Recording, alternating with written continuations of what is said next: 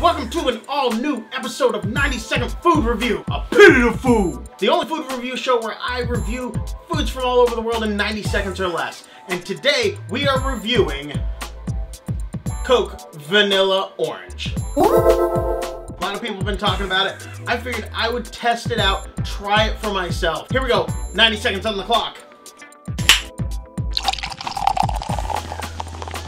All right, first off, let's start off by analyzing this thing. It looks like a regular Coke. I can smell the orange. Pinky's up. Huh.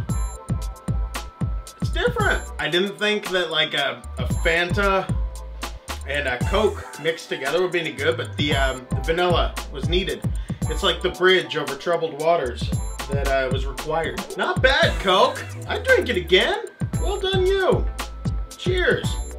Well, that's it for this review. I hope you guys enjoyed it. If you did, please make sure to hit the like button down below. And also make sure to hit the big red button that says subscribe. That way you guys can get all the newest content that's put out from Food Nerd. Not only the review shows, but also the Food Nerd episodes that come out every few weeks that gives you guys the greatest recipes to all your favorite shows and movies.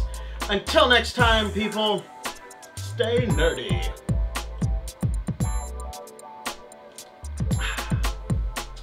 That is a tasty beverage.